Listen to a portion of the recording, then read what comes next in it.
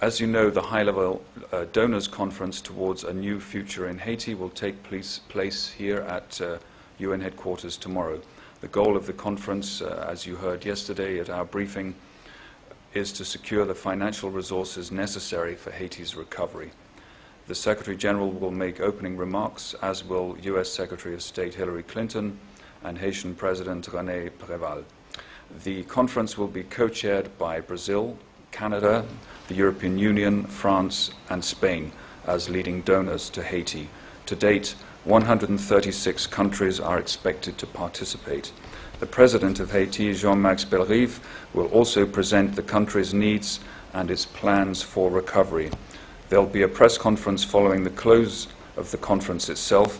The Secretary General, the Secretary of State, uh, President, uh, uh, President Préval, and the co chairs will participate in that press conference.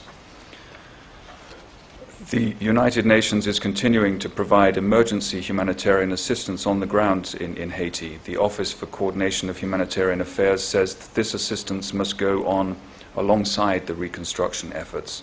The, the humanitarian appeal for $1.4 billion is itself only 48% funded to date, according to OCHA, and it has uh, stagnated following an initial rush by donors.